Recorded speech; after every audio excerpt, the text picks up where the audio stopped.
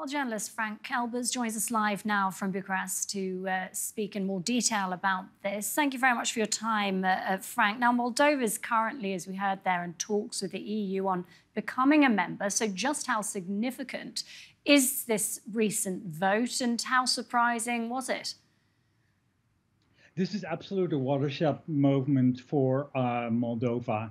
Uh, President uh, Maia Sandu took a risk by um, proposing to Parliament to organize a referendum alongside the presidential uh, elections, and it's been very sus- suspenseful, uh, 24 hours. But but her her bet paid off, and uh, it's important to to point out that the the current government, uh, led by by um, President Maia Sandu, um, really, uh, with this referendum, has mobilized uh, a lot of Moldovans to um, to look westward, to look towards uh, Europe, and uh, this referendum will sustain her her government's policy of of joining the EU, of moving away from from the east, from from Moscow, and this will be the first time in the history of Moldova that this is um, happening on a sustained basis, more than just one election cycle.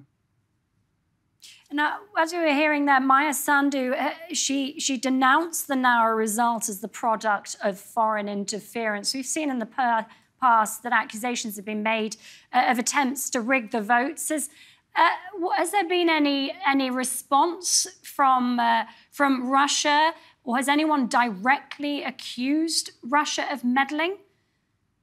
No, only indirectly. Also, President Sandu herself didn't name uh, Russia.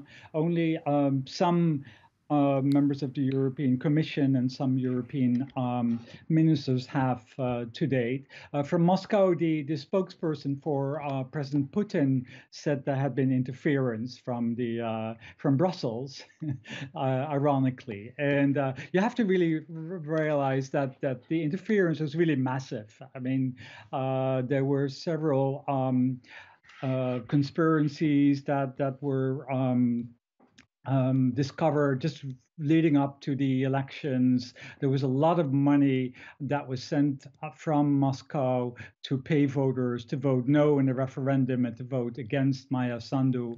Uh, and so I think, despite the fact that this is a very close vote, very narrow uh, majority, um, just a few thousand, uh, like 20,000 votes. Um, I think the, the current administration uh, and President Maia Sandu really have a mandate to to pursue to continue their their uh, road to their to integrate into Europe uh, and in the first instance uh, joining the EU by 2030. Frank, really appreciate your time. Thank you very much, Frank Elbers, speaking to us live there from Bucharest.